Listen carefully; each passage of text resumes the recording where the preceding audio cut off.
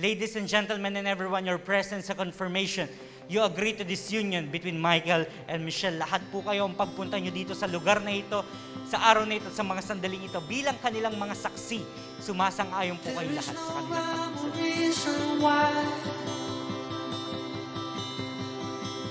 The less it makes sense, the more we try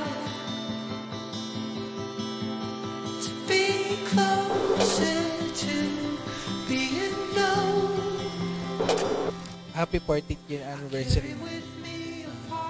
Maraming salamat sa 14 years nating pagsasama. Sa 14 years, we started around 45 kilos. Now, around 80 kilos na tayo. Sa ganong gain natin, hindi lang weight ang nag-gain natin. We learn a lot of things together and we upgrade each other. Hindi lang yung isa, we build each other. And I promise, forever, laging mangyayari yun. I will always support you and I will make sure na I have your entire family's back. Okay? I love you so much. Salamat sa lahat-lahat. Lingid sa kalaman ng mga tao. Salamat pinag-aral mo ko nung college. I thank you so much. Kaya susuklian ko yun habang buhay. I love you. I love you so much.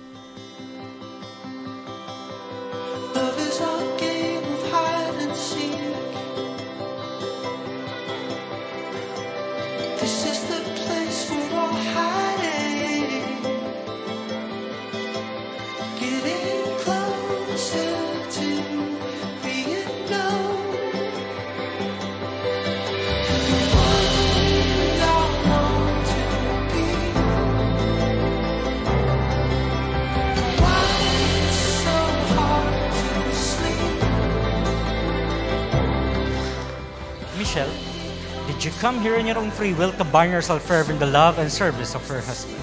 Yes, I do. Did you take Michael here present to become her lawful wedded husband? Yes, I do. And that is acceptance.